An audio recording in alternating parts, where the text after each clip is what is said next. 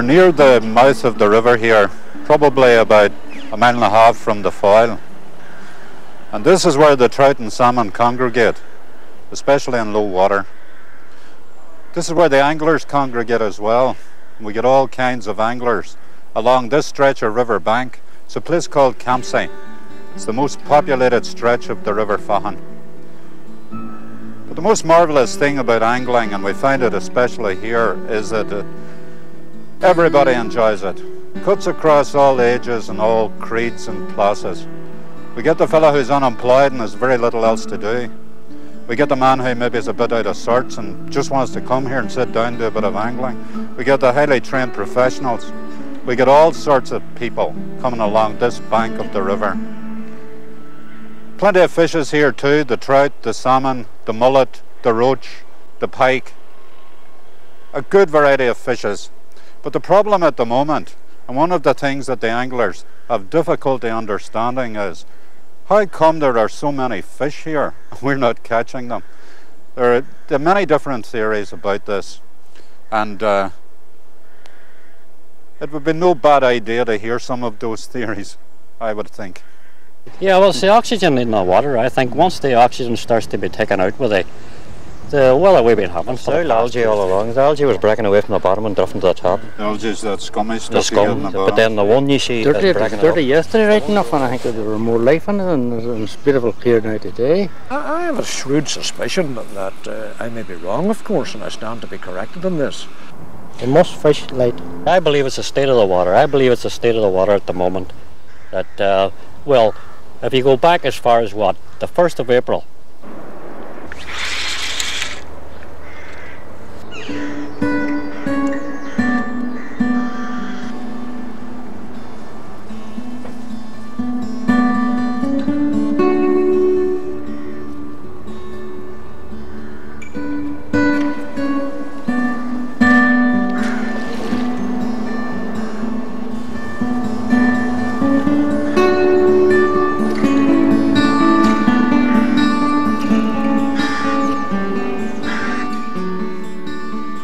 One here, Manus, now, that that looks a big soft thing to me. Well, I would say that would be a sort of a, what do you call a slab worm.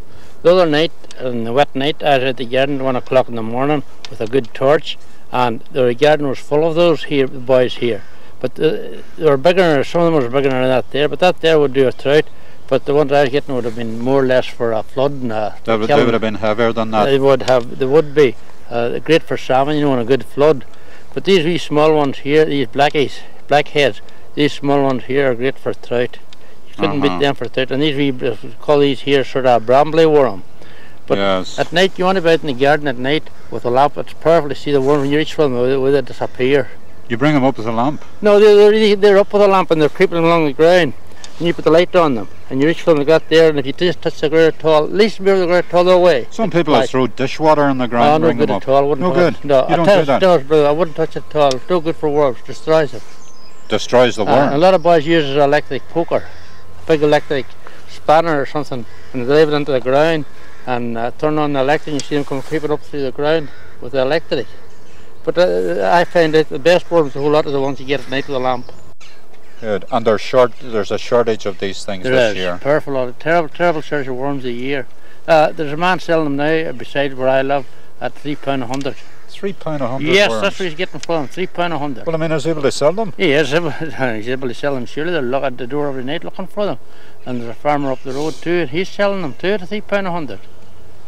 And there's a boy in Carlisle Road selling them at I don't know, I think it's two fifty. He's selling. How's that? Well, I mean, uh, I've never heard the likes of that before. now that's two. you know. I think never, these uh, two men here can verify that. And this is simply because of the, the very dry ground. Dry well, Dry that's right. Spell. No. It's a, mm-hmm. it's a Yes. dry spell we're in Okay, well then mm-hmm. we better not expose these things too long to the sun No, because because it, it They'll dries them up. up. and dries them up, and they're yeah, they're, they're short. There's a, there's a big enough shortage of them, so Yeah, they Yes, love sir. me. I'm going to put them back into your Uh, into your bucket. blood That's a right swine. Who owns these worms anyway? Do we, They're- do we split them up? Or? him. No, give them to him because he Give- might be looking for them before night. Okay. Right, well, I hope Right. you have a bit of luck with them, Matt. Well, oh, we hope so. certainly hope so anyway. Mm.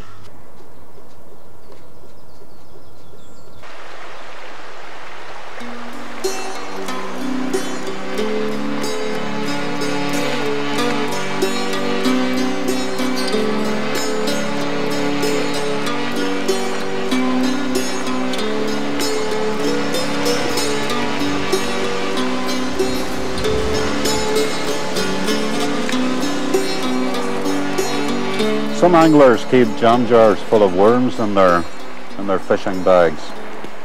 I keep a box of flies. There are a whole lot of people like me. I don't like putting a worm on a hook. I like fly fishing. Maybe it's because they're very attractive things, but they're deadly as well. They they carry beautiful names: the Hairy Mary, the Bloody William, Curry Shrimp, the Black Pennell, lots of names, most often called after their inventors. Now this box of flies I have here would contain mostly standard creations, such as the Peter Ross or the Black Pennell but I would also make modifications of those for myself.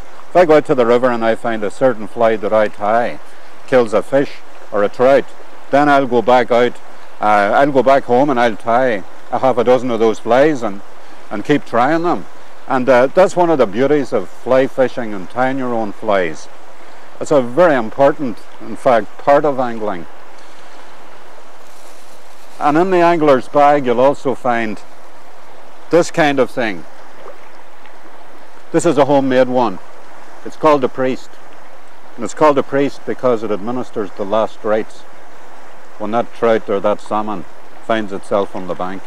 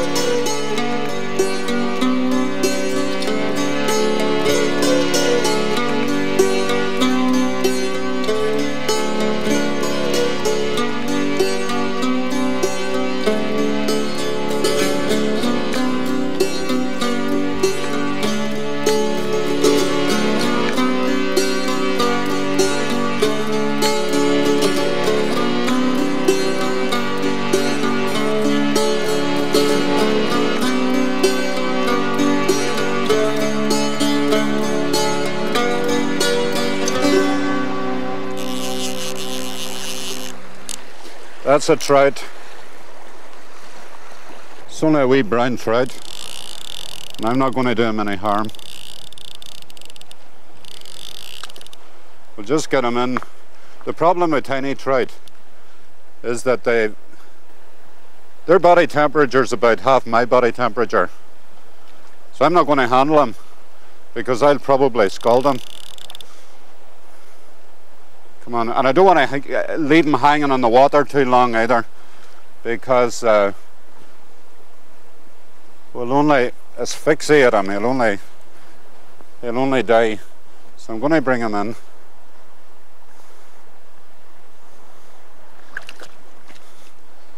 Here we are.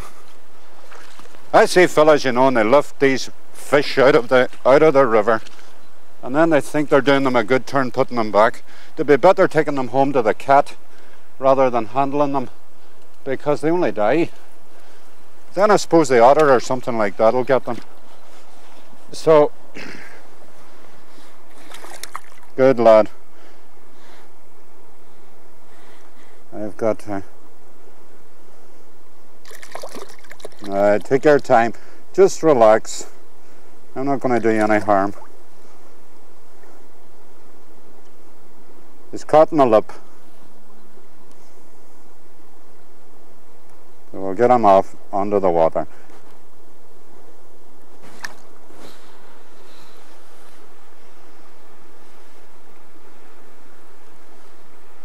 I don't like catching those wee brownies. But whenever you're out after the bigger trout and salmon, after the sea trout, that's, that's the chance you take. But we didn't do him any harm.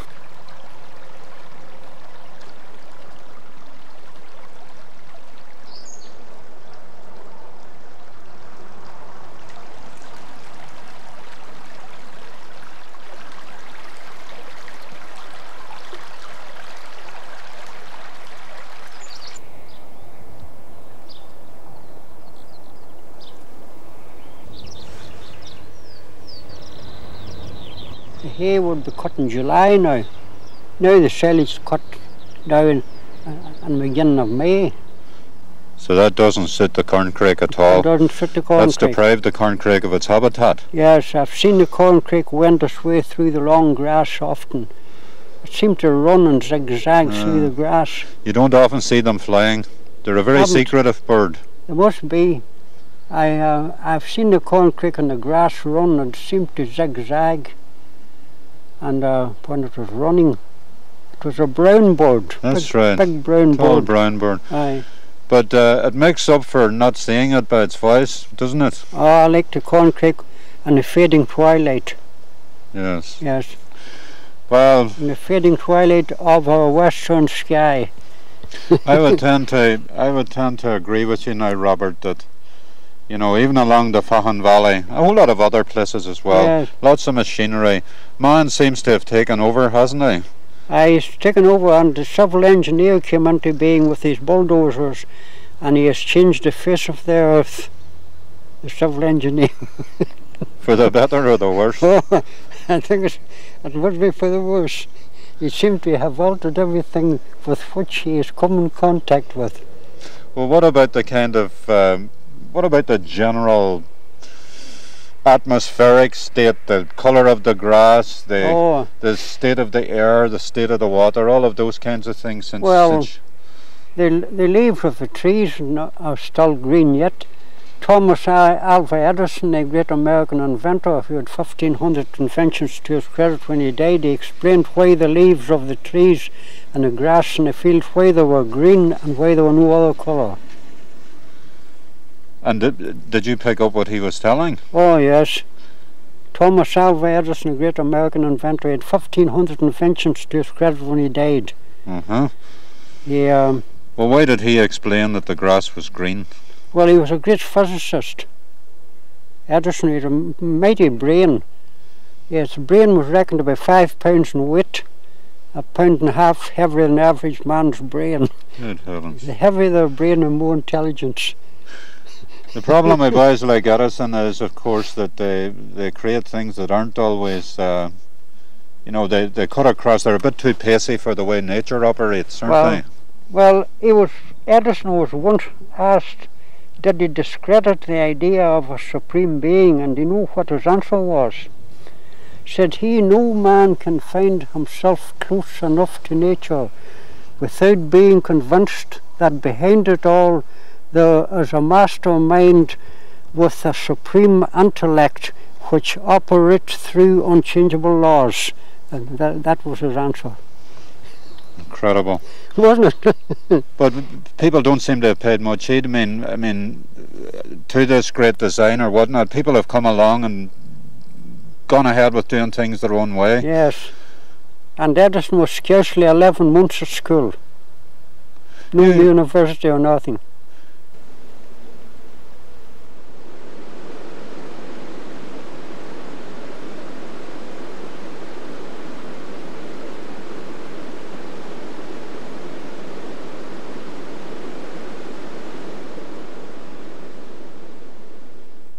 This salmon here is a Faughan fish. It went out to the Atlantic probably about a year and a half ago. It's what we call a grilse or a maiden fish. It's a member of the salmon family, but it's what we would call a virgin salmon. It's coming up the river for the first time after maybe a year and two months out at sea. But how the fish actually moves through the water is that along the back of the fish, it's a very muscular animal, we have blocks of muscle tissue running down each side of the spine of this fish. The actual movement of the fish happens at, the, at its head, and then you get a shudder moving along those blocks in a kind of a zigzag fashion. That shutter then approaches the tail wrist, and the tail responds and, the, and creates some pulsion, and the fish moves forward. And how it moves relies to some great extent on the lateral line. It will know what line to follow itself in the water because the pressure of the water is striking these cells along the lateral line. So the block of muscles allow the fish to twist and move and turn. The lateral line allows the fish to find the kind of access route or the kind of route it wants to follow.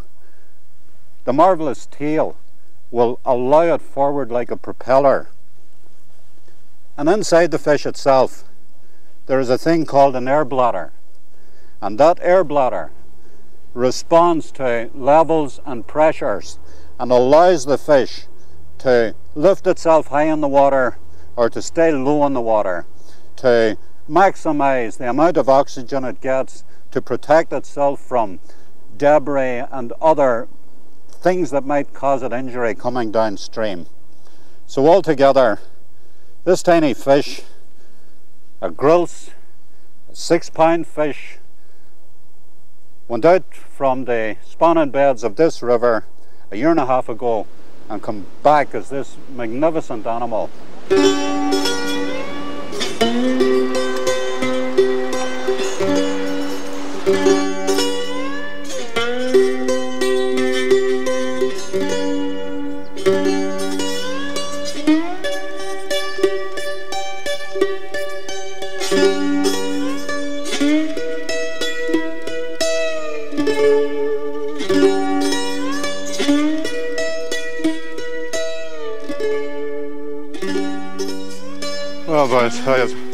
One? Yes.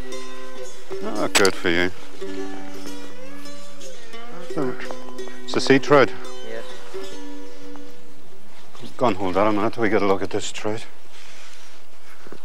That's a good trout. Now, what, what weight would that be? Pound and a half or so. Uh, it's a good trout. And it's a wee hand trout. That's good. What'd you get it on? A bit. Up in the land is there? On the worm? Just still bait fishing. Yes. Did I give you a good fight? Aye. You don't seem too too excited about it. You must be pleased. Dave. Eh? What about these other fellas? I What? think, he- I think he's in shock now. You're in shock. Well, what you have to do is you have to put it in. You have it in a net, but you need to wrap it in grass or something in case it dries up on you. You know. So we'll stick it back in the net. Is that your first trout of the season? Yes. Good for you. Well done.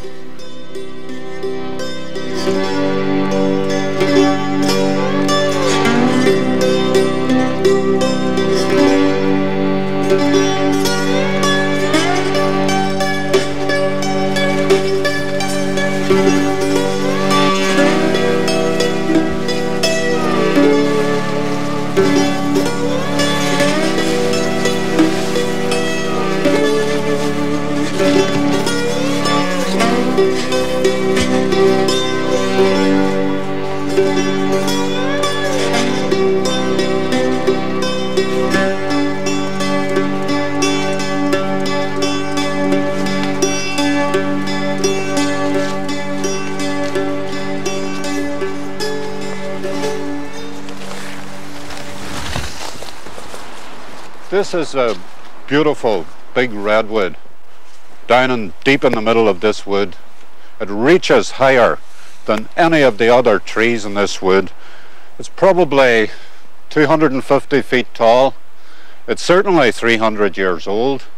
And every time I come into this clearing, I can smell it because of this great thick bark. There's a resin Now, the thing that always strikes me about the redwood is it's cleared this, this place for itself. It won't allow anything else to grow here. because it takes an awful lot of mast and an awful lot of mulch to keep a big tree like this alive. It compensates in other ways. On this side of the tree here we can see where it's layered itself. It's just shot out a part of itself, just leant forward, planted itself into the ground to give rise to this another very, very respectable tree. And up in these branches, if we look hard enough, we'll find the squirrel and different kinds of birds. For me, this is a beautiful place. This clearing in the middle of this woods, very quiet, very, very peaceful.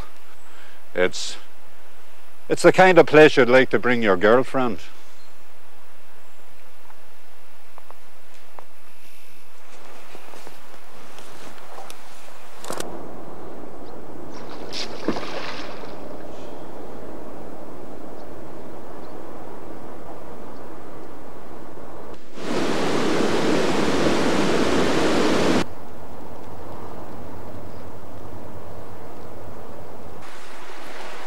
Another wee shower. It's good to see them freshen the whole place up and get the trout moving. It's really trout I'm after, you know. I'm not really after salmon. It's a wee trout rod I'm fishing. There's nothing, for me, there's nothing better than a than a good two pound sea trout. Or for that matter, a pound brownie.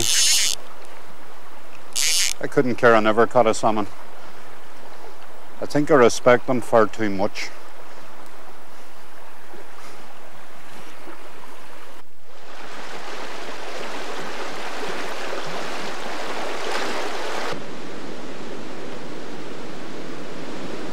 Well, I don't measure the pleasure I get in fishing and the actual number of fish I catch. It's uh, It's hard to explain, but I don't actually fish for fish. I fish for the pleasure of fishing. Now it's hard to get that maybe across, but maybe some people wouldn't understand that.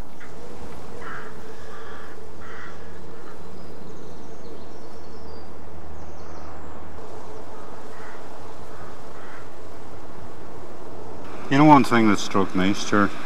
Angling has become a very serious kind of thing. I mean, it used to be enjoyable, and, right. and you know, it's it's become very serious. Everybody's very very determined to catch fish and not enjoy the It's- take it easy. Angling's supposed to be t- about taking it easy and Well, I, I have a terrible thought about this, and I don't know if I'm right or if I'm wrong. But I think it's a, a sort of a, a carryover from the put and take fisheries of England, and everybody reads magazines nowadays, and everybody's out to get their limit bag in these reservoirs.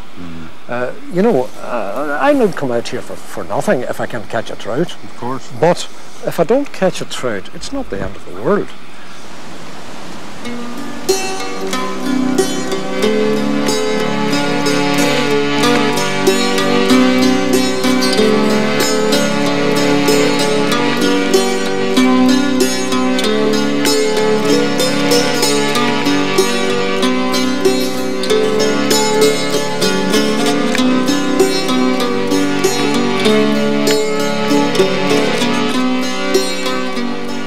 Fish are moving now.